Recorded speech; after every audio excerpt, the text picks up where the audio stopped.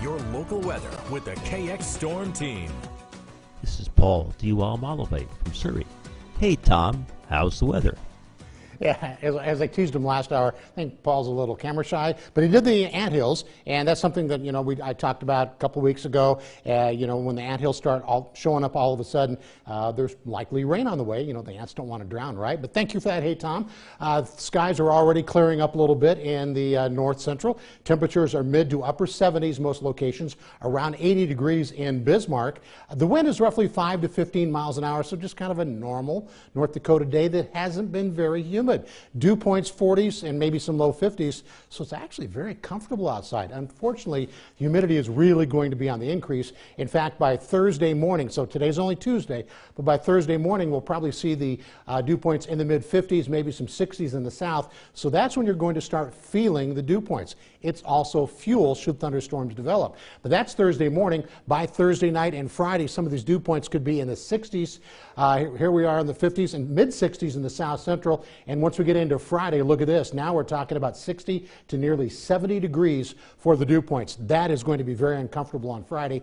And again, should thunderstorms develop, uh, we're talking about a lot of fuel. Now, this is potential energy for storm, and storms tonight, we really don't have any. By tomorrow night, just a little bit, and if there's a margin, there is a marginal risk, but it's the south central, south of I-94. That's where that little bit of green is. So that's Wednesday. But look at Thursday afternoon. Now we're starting to get some in Montana, and, and northern Montana is under a uh, slight risk for severe weather uh, with this type of energy. And then that's Thursday. Now look at Friday. Look how much red and how far northwest is is pushing. That's extreme energy for thunderstorms. Doesn't guarantee a storm by any stretch, but it's a very important ingredient, having all that energy in the atmosphere. And then even Friday night after midnight, we're still talking about a lot of energy, extreme energy in the atmosphere. Again, that doesn't mean there's going to be a thunderstorm, but should a thunderstorm develop, now we're probably talking about with dew points in the 60s and 70s, some really big storms, unfortunately. The other thing that's going to be going on at the very same time is we're going to have a bit of an atmospheric cap. And that's like the opposite of the energy. This actually tries to stop storms, and it happens in North Dakota all the time.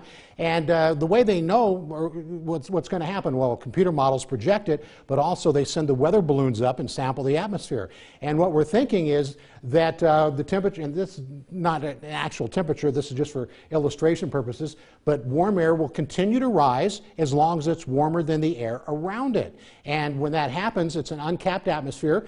Warm air freely rises, and you can easily get thunderstorms. Not, not necessarily uh, big storms, but you can get thunderstorms pretty easily as long as it's not capped. Now, when it's capped, sometimes the cap can hold for a while. It gets to be really explosive, and then we get huge storms. And, and that happens, and sometimes the cap holds and we get nothing but sunshine. But it looks like by Friday, we're going to see the temperature at around 9,000 feet be warmer than the air below it. If that happens, that could stop thunderstorms for a lot of folks. Around the edge where that inversion is, that's where the thunderstorms could be, and it appears right now northern North Dakota has the best bet for thunderstorms, kind of on the edge of that uh, warm air in the atmosphere. Now, the next 72 hours for Dickinson, pretty low odds, but it's getting hotter. And for Williston, notice how it's getting hotter and higher odds for thunderstorms, kind of near that edge of the uh, cap in the atmosphere. Forecast lows tonight will be in the 50s. Daytime highs tomorrow should be in the 80s. Won't be terribly humid. And as we check out the next seven days, uh, it may cool off a little bit on Friday. That may be because of cloud cover and things like that, but it is going to be humid, and it's especially late in the weekend. It is going to be hot. Severe weather certainly is going to be possible this weekend.